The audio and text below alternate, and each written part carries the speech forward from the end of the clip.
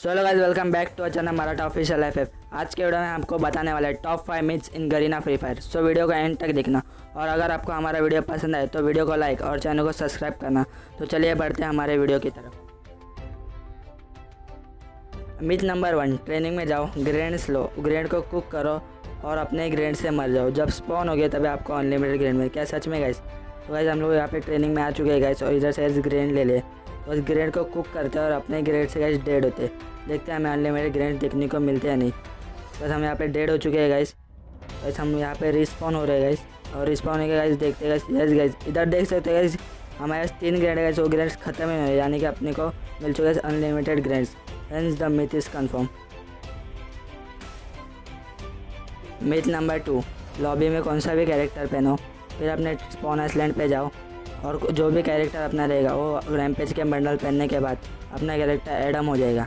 तो ऐसे देखते हैं अपने, अब यहाँ आ चुके गए अपने स्पॉन आइसलैंड पे। और अपने सामने गए एक रैमपेज का बंडल अभी आपने पहना गए आलोक कैरेक्टर और बंडल पहनने के बाद गए अपना हो चुका है Adam character hence the myth is confirm myth number three store में जाओ, उसके बाद फ़ैशन में जाओ।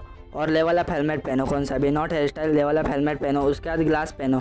और सीधा मैजिक तो गाइज़ यहाँ पे हम हम आ चुके हैं गाइज़ अपने स्टोर में गाइज़ अपने गाइज़ एक लेवल ऑफ़ हेलमेट पहन चुके हैं गाइज़ और उसके बाद हमने एक ग्लास पहन लिया गाइज़ और गाइज़ उसके बाद देख सकते हो, जो आलोक का हेयर स्टाइल है, वो चेंज हो गया गाइज़ एडम एडम का हेयर स्टाइल हो चुका है। और ये डीजे एडम हो गए। इथ नंबर फोर जब भी हम मेडिकेट करते हैं, तभी नीचे ग्रीन लाइन आता है। और जब भी हम स्कोप इन करते हो ग्रीन लाइट डिसअपेयर होता है। क्या सच में गाइज़ तो गाइज़ आप आ चुके हैं गाइज़ यहाँ पे हमने क्लैश कोड में। यहाँ पे हम मेडिकेट कर रहे हैं तो आप गाइज़ नीचे देख सकते ग्रीन लाइट आई थी गाइज़ ग्रीन लाइट आ चुके हैं गाइज़ और जब हम स्कोप इन करेंगे गाइज़ तभी ग्रीन लाइट डिसअपेयर तो hence the myth is confirm myth number five new car remote में गर्ल गर्ल कैरेक्टर और बॉय का बैठने का स्टाइल अलग है. या सच में गाइज़ तो गाइज़ यहाँ पे हम आ चुके हैं गाइज़ और बॉय का कैरेक्टर देख सकते हैं एकदम तगड़ा गाइज़ स्टाइलिश गाइज़ बैठा है बंदा. और यहाँ पे गाइज़ हम देखते हैं गर्ल का स्टाइल तो यस गाइज़ दोनों का बैठने का स्टाइल गाइज़ अलग है. Hence the myth is confirm